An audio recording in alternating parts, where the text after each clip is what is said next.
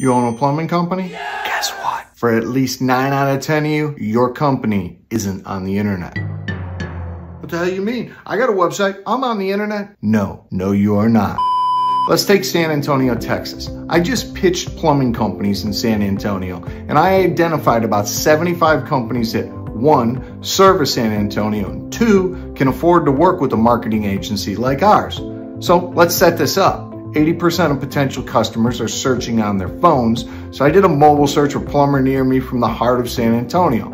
And less than 5% of people ever go to page two, so we're only looking at Google page one. So how many organic listings, just regular web links, do we find for plumbers before Google gets to its mobile equivalent of page two? Four. That's it. Just four. 71 of those 75 companies, nearly 95%, are not going to be found with just a website.